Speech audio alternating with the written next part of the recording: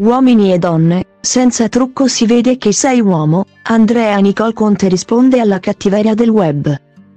Andrea Nicole Conte, ex tronista di Uomini e Donne, il dating show di Canale 5 condotto da Maria De Filippi.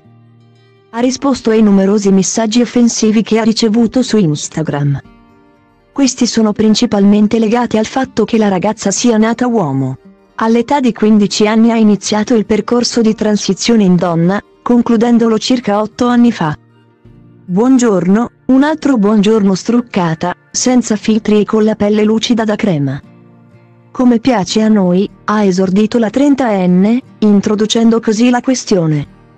Devo dire che i messaggi che ho pubblicato ieri, per quanto io non gli dia peso, li pubblico per far vedere come bisognerebbe rispondere a queste persone. Li pubblico più per consolazione verso il prossimo che verso me stessa. Però diciamo che hanno aperto delle parentesi abbastanza interessanti e vorrei approfondire. La milanese è dunque entrata nel merito.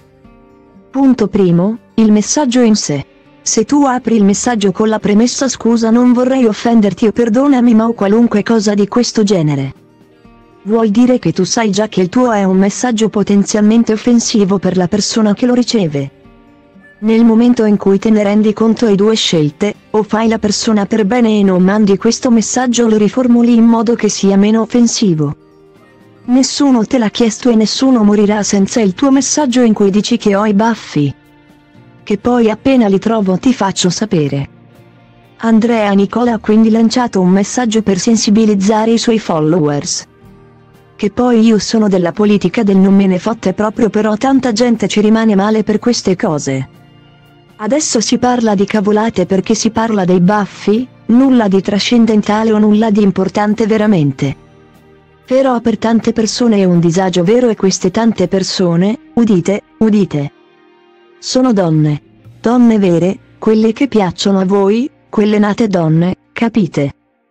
Ricevere un messaggio del genere può essere veramente lesivo, perché magari è una loro insicurezza.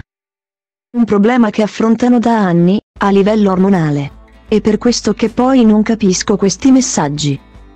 Perché non sai niente della persona che è dall'altra parte se non quello che ti viene mostrato.